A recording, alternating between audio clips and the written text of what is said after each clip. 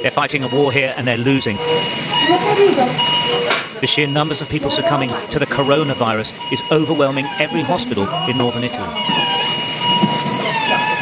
The staff are working flat out trying to keep these people from deteriorating further. They're trying to stop them from dying.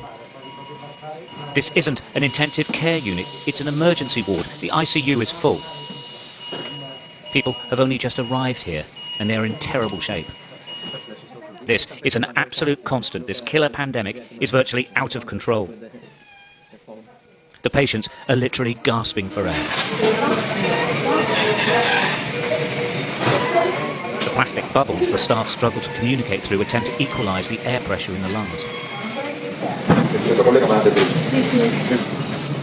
Nobody expected this. Nobody thought they'd be treating so many so quickly. And it's not like flu.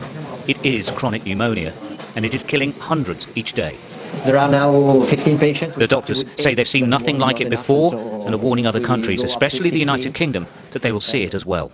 People have keep describing this as like flu. It's worse than that, no? No, it's, it's, it's, it's totally another thing.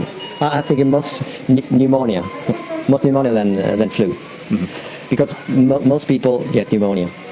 And, and uh, as I said before, it's a very severe pneumonia.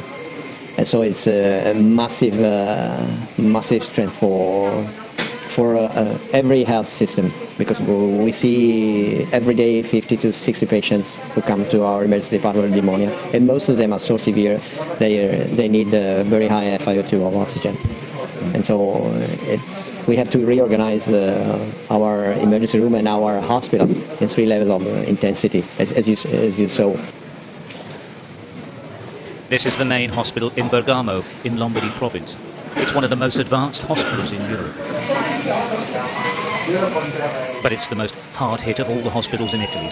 The town is the centre of the epidemic here.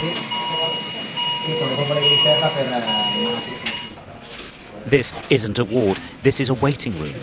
Wherever you go, people are on gurneys, in corridors, in meeting rooms, they're everywhere.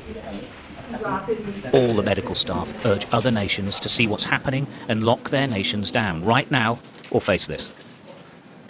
What I would suggest is just shut down to stop all the outbreak and uh, not come in this kind of situation that is very, very difficult to manage. Can I ask you personally what it's been like? I never felt so stressed in my life. I, am an intensivist. And I'm quite used to, you know, in, intense uh, moment and choices and um, people are critical and will die without any you know treatment and you make the difference. But when you arrive at this point you realize that you are not enough. And maybe all the we, we are 100 anesthetists here. We are doing our best but maybe it's not it's not enough. We are performing the, the, the test for the nasal swab to detect uh, uh, coronavirus the problem facing health services across the world is that when the infection curve goes up, it rockets.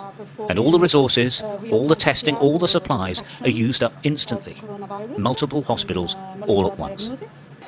What's staggering is that Italy is doing a lot, a lot of testing.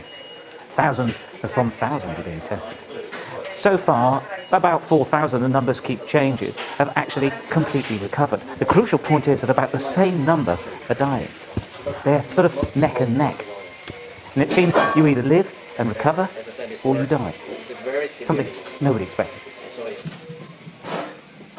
Bergamo wanted us to see this to show what a catastrophic emergency nobody has experienced before looks like. Here they're calling it the apocalypse. And this is what it looks like. And their message to us is simple. Get ready.